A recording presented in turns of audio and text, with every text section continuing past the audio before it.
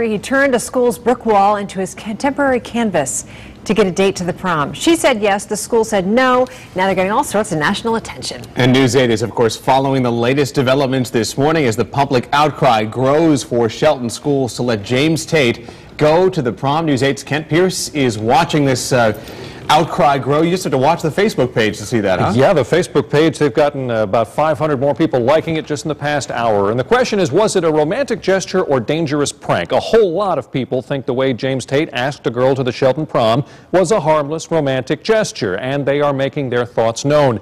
This is how he did it. He got a ladder and taped cardboard letters to the outside of the school in the middle of the night. They spelled out, Sonali Rodrigues, will you go to the prom with me, HMU, or hit me up, Tate. Sonali said yes, but the school said, oh, no, you don't. Tate and the friends who helped him got suspended and banned from the prom. If that sounds unfair to you, you're not alone. More than 77,000 people have joined the Let James Tate Go to the Prom Facebook page, and that got James and Sonali noticed by Jimmy Kimmel last night. So now, are you banned from the prom too?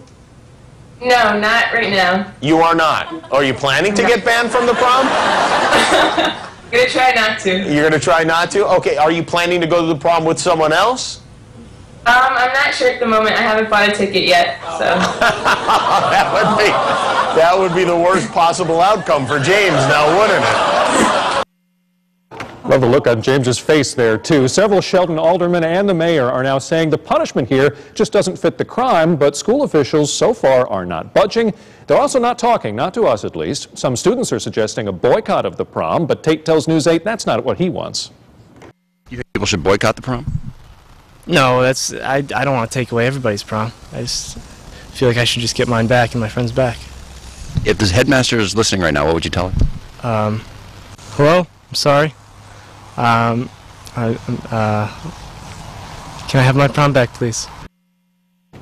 Well, how about a different prom entirely? JamesTateProm.com is soliciting donations for an alternative prom. The site says several businesses already pledged their support. You can also buy a Team Tate t-shirt there. Shelton's mayor is scheduled to go on Chaz and AJ in the morning on WPLR this morning to talk about how the school should rethink the prom ban, and we will let you know if it works. I'm Kent Pierce, News 8.